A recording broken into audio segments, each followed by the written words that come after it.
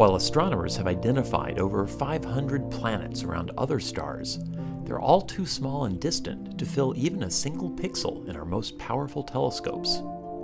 That's why science must rely on art to help us imagine these strange new worlds. Even without pictures of these exoplanets, astronomers have learned many things that can be illustrated in artwork.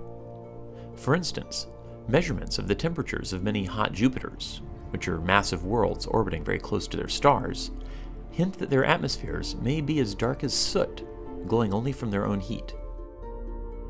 While hot Jupiters would be relatively dark in visible light compared to their stars, their brightness is proportionally much greater in the infrared.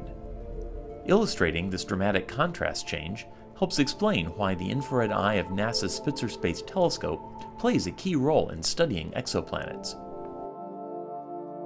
As our understanding evolves, so must the artwork. Astronomers found a blazing hotspot on the exoplanet Upsilon Andromedae b that at first appeared to face towards its star. More data has subsequently revealed that the hottest area is actually strangely rotated almost 90 degrees away, near the day night terminator. WASP 12b is as hot as the filament in a light bulb and would be blazing bright to our eyes. Most interestingly, if it proves to have a strongly elliptical orbit as first thought, calculations show it would be shedding some of its outer atmosphere into a gassy disk around its star. Computer simulations of HD 80606b, constrained by global infrared measurements, are helping astronomers to better understand the details of how its atmosphere circulates.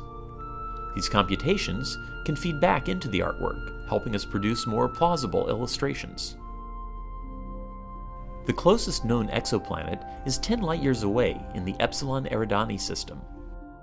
Excess infrared light found here by Spitzer has led astronomers to conclude it also has two asteroid belts, hinting at the possibility of other small, rocky worlds. Perhaps the strangest known planetary system orbits the pulsar PSR B1257 plus 12, the neutron star remnant of a supernova.